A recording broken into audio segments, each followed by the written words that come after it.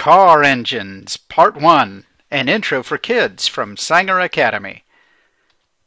Cars are cool.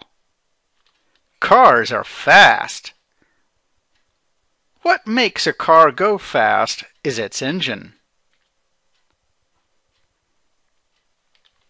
Engines are very complicated, but let's have a look anyway, shall we? The engine is this. You can call it a motor, but it's better to call it an engine. Motor usually means a smaller part, a part that runs just on electricity. So here is a motor, and here is a look inside a motor. I'm going to trace energy as it goes through an engine. Starting with the chemical energy in gasoline, and the electrical energy in the car's battery, and ending up with the car's movement. Movement energy is called kinetic energy. Now, I'm going to explain what different parts of car engines do. But first, I want to explain the words for the little parts of an engine. Screws hold a smaller thing onto a bigger thing. Bolts work with nuts to hold things firmly together. The nut keeps the bolt from coming off.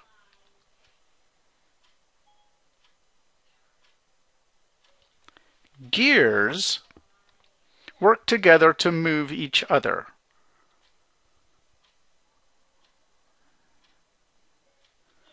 Chains work with gears the same way, but over a longer distance.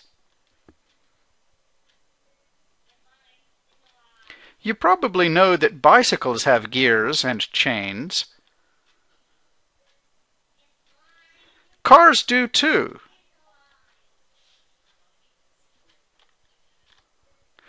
Belts act like chains, but they are made out of more bendable materials, like rubber.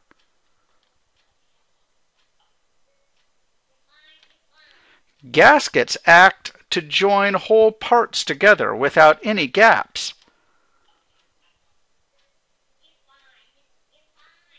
Ball bearings are parts made of collections of little metal balls.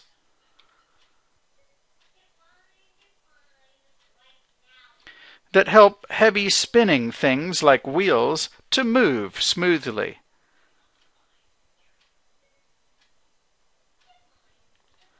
All these little parts can be found throughout an engine.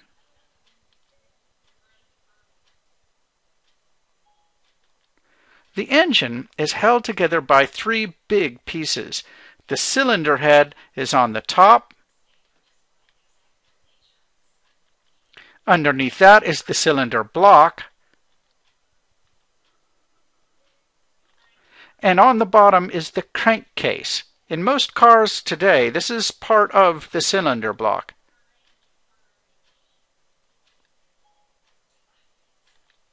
Put together, these three big tough parts are called the engine block. They are the engine's skeleton. So, what parts are in there, and what are they doing? To answer that, first you have to know that car engines use gasoline. British people call it petrol, and sometimes we say fuel. Also air and sparks of electricity from spark plugs. The sparks make the gasoline burn quickly with little explosions, which move a very important part of the engine called the pistons. The pistons move up and down very fast, many times per second. This video is really slowed down. It actually moves a lot faster.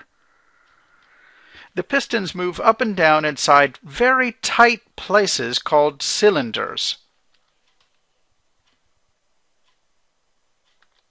Which live inside the cylinder block. Remember that? It's part of that big three-part engine block. The pistons move. The movement of the pistons is what moves the car.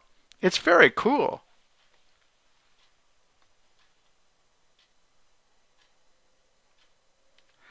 The explosions that move the pistons are caused by fast burning gasoline. Burning is called combustion.